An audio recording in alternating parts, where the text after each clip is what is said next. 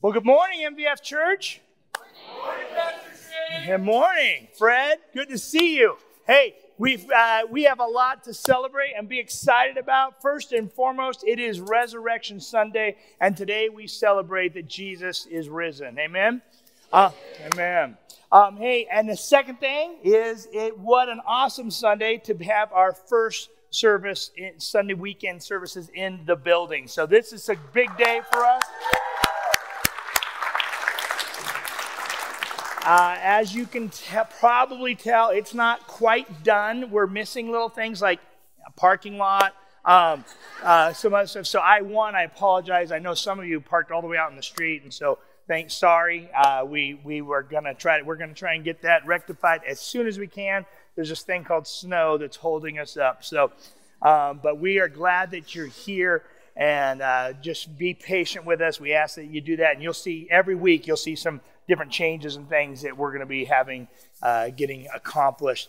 Um, I, I got to do something. Uh, I, have always wanted to do this, and and I just feel like today is a great day to commemorate the buildings. So I'm going to ask Patrick to make sure those lights are up as high as they can, and these lights are off.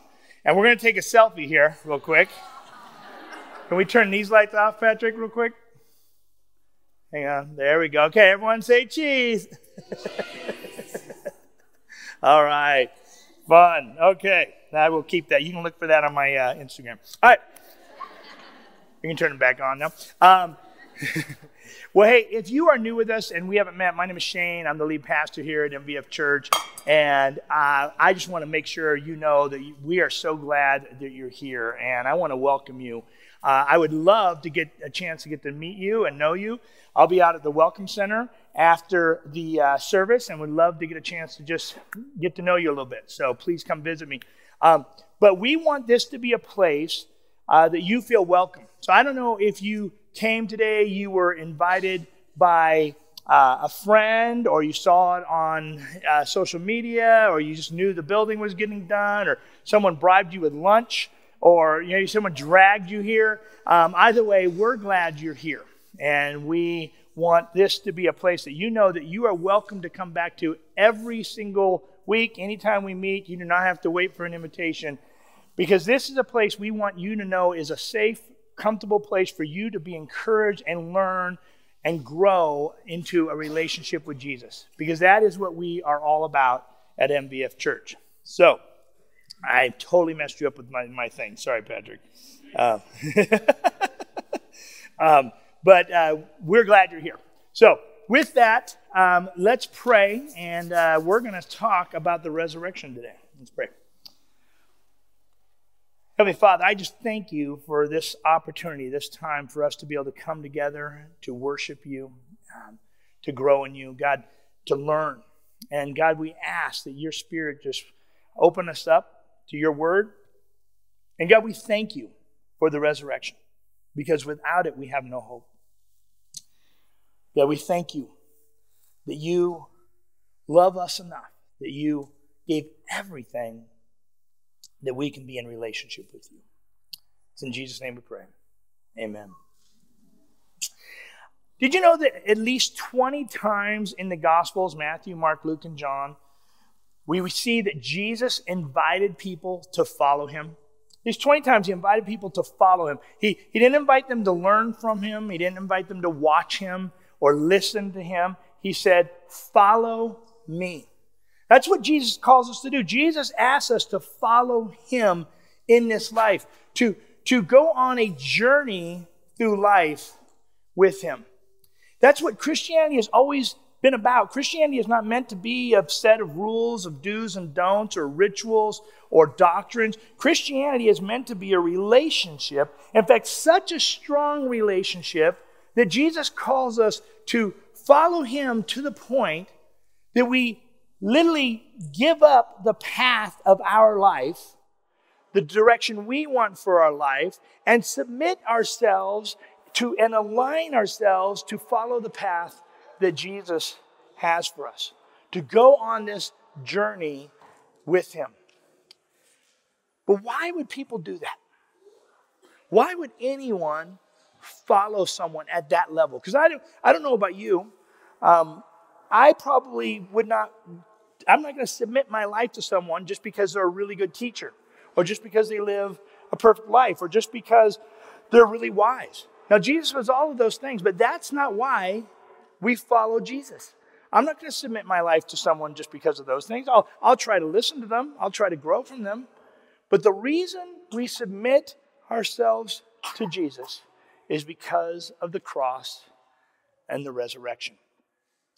There's a guy who's much smarter than me named Timothy Keller. He's a pastor and theologian. He says this If Jesus rose from the dead, then you have to accept all that he said.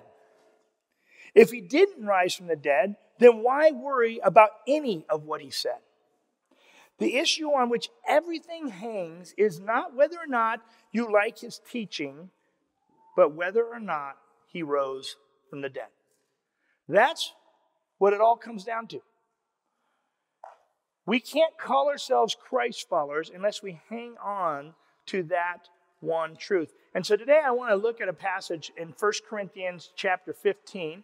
Uh, not your, maybe your normal passage that you would look at for Easter Sunday, um, but this is written by Paul, the Apostle Paul, uh, to the Corinth church, the church in Corinth. Um, I want to encourage you, if you have a Bible, open it up, or if you've got a, a phone, I would even encourage you to turn there on, in your, if you have a Bible app on your phone. I will have it on the screen, but I love when you look yourself because one, you can highlight it, uh, two, you can have better reference of where things are. Paul, who didn't give his life to Christ until after the resurrection, has this to say to the church in Corinth. He starts with verse 1. He says, now, I would remind you, brothers, now just hang on right there. He says, I would remind you. So he's going to now say, I'm, I'm reminding you about something you've already heard, something we've already talked about, but it's important, so I'm reminding you. Anyone else ever need reminders about things that are important in life? I know I do, right? I, I, I need to be reminded of things that are important in this life. I get too distracted. I get caught off guard. I get busy doing other things. If you've ever raised kids, you know kids need reminding about things over and over and over again. Uh, Tanya's pet peeve, my wife, one of her pet peeves is cups being left around the house. And so Tanya dreads summer because the kids are all home all day and they leave their cups all around the house. And I, I know as kids growing up, I know at least five to seven times I remember hearing her in, a, in the same day be reminding the kids the cups don't go on end tables when you're done. They don't go on the counters when you're done. They don't even go in the sink when you're done. When you're done, they go in the dishwasher, right? And she'd have to just keep reminding them. I, I, don't, I still, they come to our house as adults, and I still don't think they ever really got it. But, um, but I, I have to be reminded. I have to be reminded of really important things, like that I'm watching my children. Um, I Tanya uh, knows if I'm in charge of the kids and it's not a part of my normal routine, she has to remind me. If she does not remind me, I will j- usually forget. And this is like all ages. Like I've left kids places. I, am that guy. I'm just like I, what I know I'm supposed to. Oh yeah, the kids. Um, I've left them different places. I forget to pick them up. Uh, I'm really bad. So she knows that I have to be reminded. And so Paul's saying, "Hey, I'm going to remind you now." Of something that's very important. In fact, we're going to see he thinks it's the most important. Look what he says. I remind you of the gospel I preached to you, which you received, in which you stand, and by which you are being saved if you hold fast to the word I preached to you, unless you believe in vain. Verse 3 is key here. Look at verse 3. For I delivered to you as of first importance what I also received that Christ died for our sins in accordance with the scriptures, that he was buried and that he was raised on the third day in accordance with the scriptures. Hear this? Hear what he's saying? Listen, this is of first importance. There's all sorts of other things you're going to learn and you're going to hear when it comes to your teaching and your walk and your faith. But the, the thing of first importance is the cross, the burial, and the resurrection. Everything else is secondary. Everything else comes after that. This is the number one most important thing that we all have to grasp. This is where our faith stands on. And Paul's saying, listen, don't get bogged down in all the other stuff. Remember this as of first importance. in our family, if you've spent much time with us, uh, we're, we're competitive. We can compete over anything. And we have kind of a mantra in our family there's first place and everybody else. Nobody cares. I mean, don't say, if you're not in first place, you're just, you're just the everybody else. And, and that's true here, is what Paul's saying. Look, the rest of it is just all the other stuff. The first importance is the death, burial, and resurrection of Jesus. Jesus, the sacrifice on the cross and the resurrection, is first importance. If you don't get anything else today, I hope and pray that you will go home with that ingrained in your head. That you, if you call yourself a follower of Jesus, this is what it all stands on. This is what it all hangs on. Because without that, it's just some teachings. You can find good teachings from a lot of different people.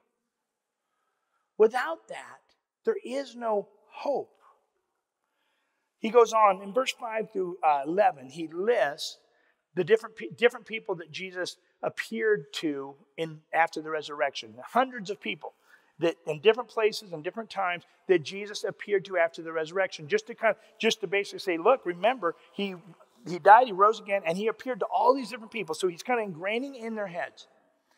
But then he jumps back to his point, and we're going to, for sake of time, we're going to jump down to verse 14. And he says this And if Christ has not been raised, then our preaching is in vain, and your faith is in vain. You hear that? Look, if Christ isn't raised, everything we're doing is in vain. This building that we just built is in vain. Uh, the, the, us being here, we're just using up an hour if Christ isn't raised. Your faith is in vain if Christ isn't raised from the dead.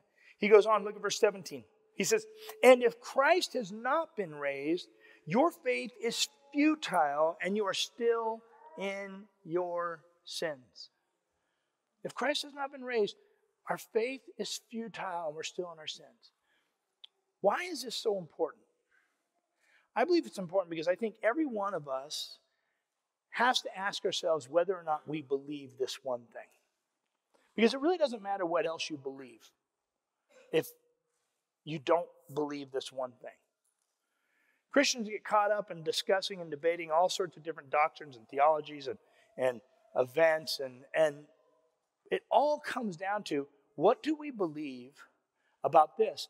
And maybe you're in here today and someone did drag you here and you're a cynic. You question.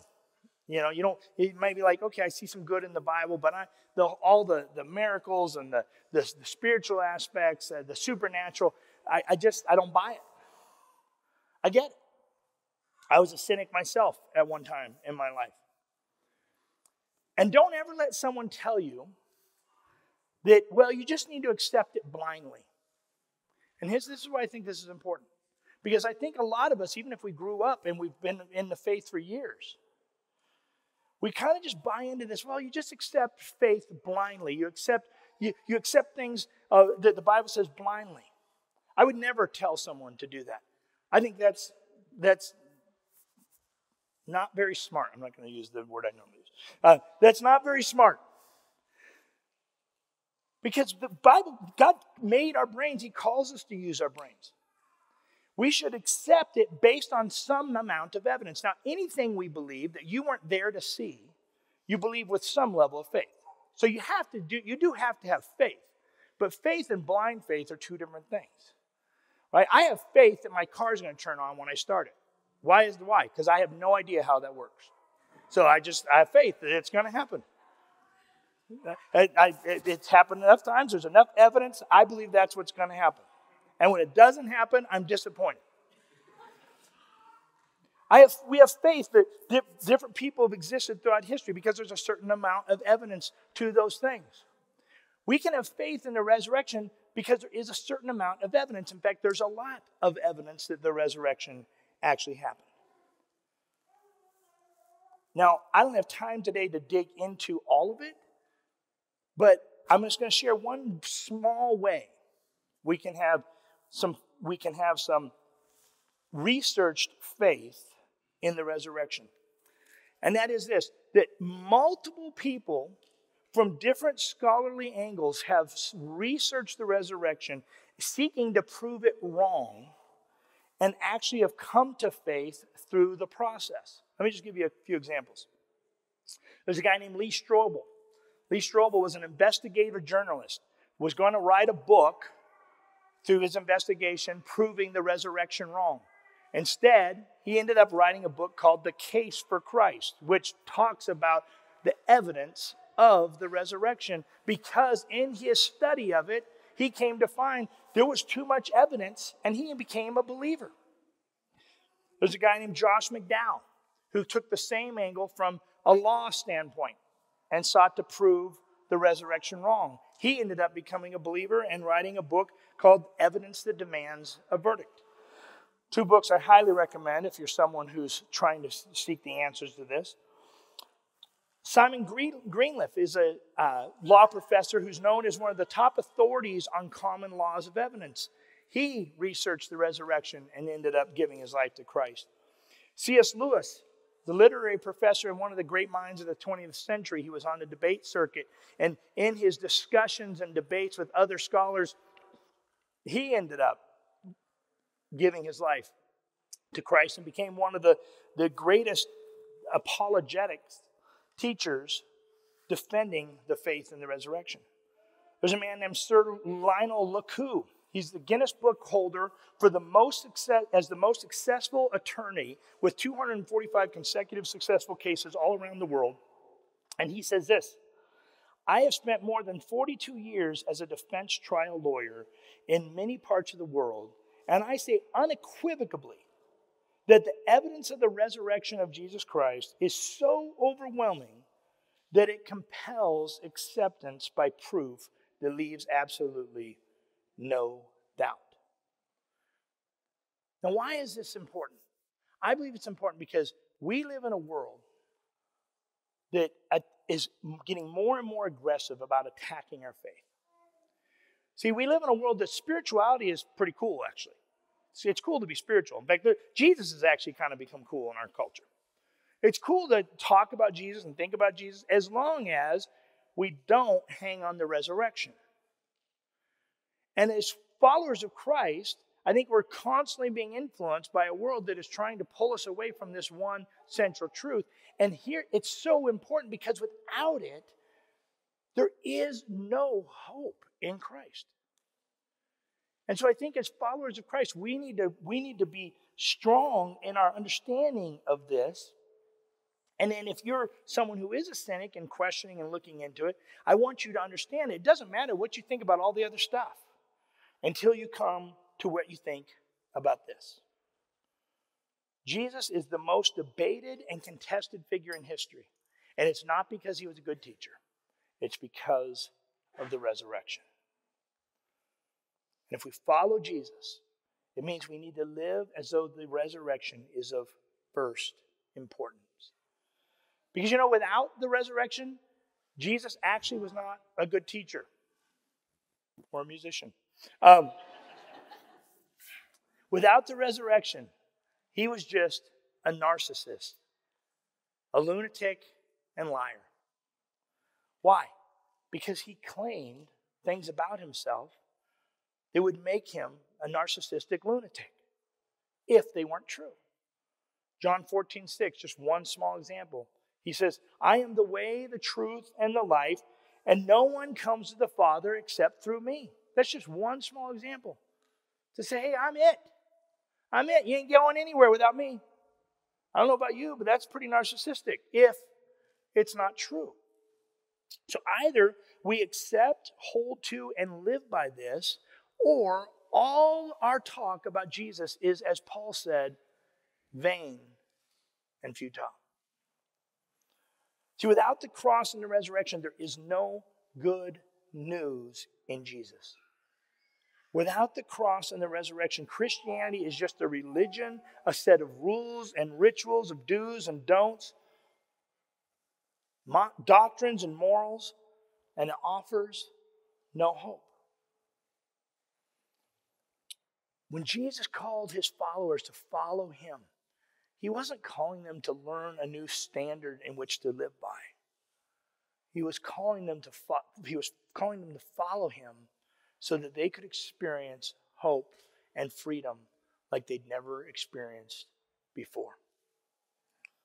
And when he calls us to follow him today, it's not so we can find a better way to live. Although I do believe you will find a better way to live in following Jesus. But it's so that we can experience the hope and the freedom of the cross and the resurrection.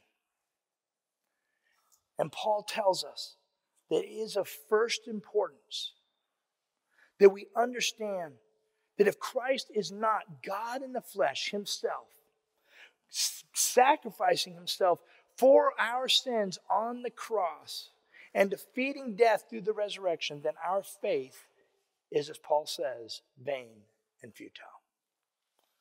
Now, next week,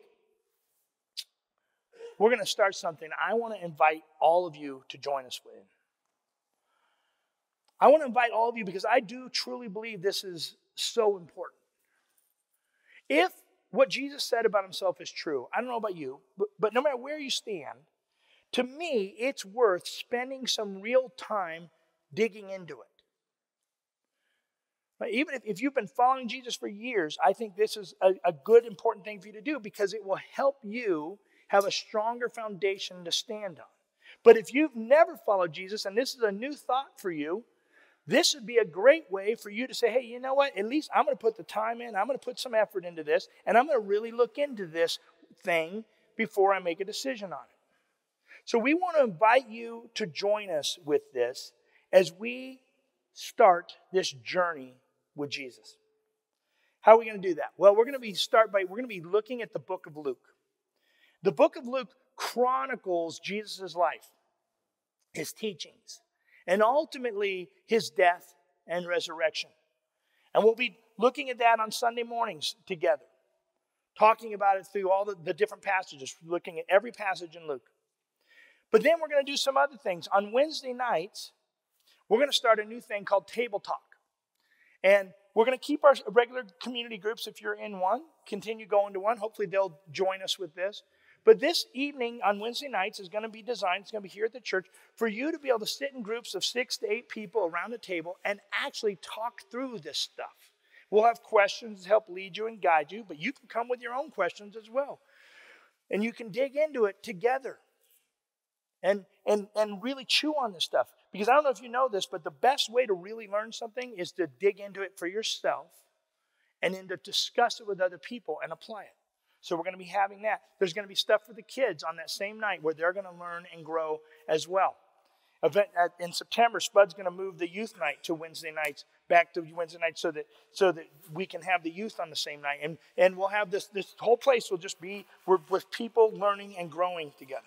Another thing is we would love to get one of these in everyone's hands. This is a Journey with Jesus journal that we created. Um, and I'm really proud of our team. They put, did an awesome job putting these together. It's got tools in here, resources. It's got a weekly reading program where you'll read what we're teaching, but you'll also read other passages that support that, uh, that uh, passage. There's memory verses for every week that come from those passages.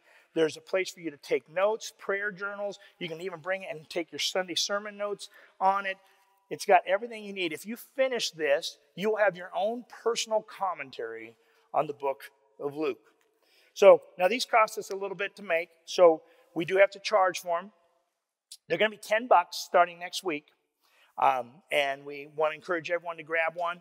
But today, because we want everyone to get, get one of these, today they're five bucks.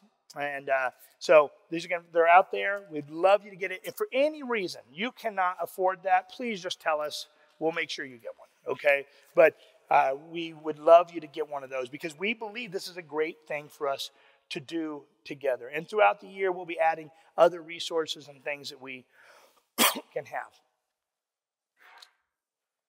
This is so important because either Jesus was a nut and a liar who pulled off the greatest hoax ever, or he was who he said he was, and the resurrection happened. If it did happen, just think about what that means. It means that we can put our faith in the living God. The God who chose to come and live among us, to make himself approachable to everyone. You know, there's not one place in the Bible where we read about people being afraid to approach Jesus. That, that, that, no matter where they were in life, no matter how much sin they've committed, no matter what they've done in their life, they were not afraid to approach Jesus. And that's what that means. It means if Jesus is who he says he is, it means that the God, the maker of all things, the ruler of the universe, purposely made himself approachable to the point that no matter where you are in your life, no matter what you've got going on, he wants you to be with him. He wants you to come to him. It means that the cross is no accident. It means that Jesus did not die as a political martyr, like some would say, but rather it was a calculated choice, a, be- a plan from the very beginning of time. That God made the ultimate sacrifice to convince us that He will go to any lengths to be with us. And it means that through that great sacrifice, our sins are forgiven. Not based on anything we've done, but based on His love. And finally, it means that we too can rise again as Christ did. We can have victory over death with Him. And I'll close with this. Some of you heard me say this last week, but I feel it is important to say again. When I was at a stage in my life where I was trying to decide if I believed and I had if I was going to have faith and follow Jesus, I was in a very cynical period. I was questioning everything. And someone once said to me, they said, Shane, if there is no God, then nothing matters. Think about it. If there is no God, really nothing matters. Do what you're going to do. It doesn't matter. Your, your morality over versus your morality, it doesn't matter. You're all just choosing it subjectively. Maybe seek to be a good person if you can. That'd be a good idea. But outside of that, nothing matters. But if there is a God, if there's a creator of all things, if there's a, a Lord of the universe, if there's, if there's someone who has put this order together and he knows the plans and he cares about you, if there is a God, then nothing else matters. It's the one question every one of us should pour into to figure out rather than just kind of going, well, I've already decided, I, I don't believe it. It's something we should probably put a lot of effort into. See, if Jesus is crazy and there's nothing to his claims, then honestly, it's silly that we're even here this morning. I could have slept in. But if he is who he says he is, then isn't it worth taking a year of your life to dig into it a little deeper and to understand it better? And to know and grow in a relationship with Him? He gave everything to be in relationship with you.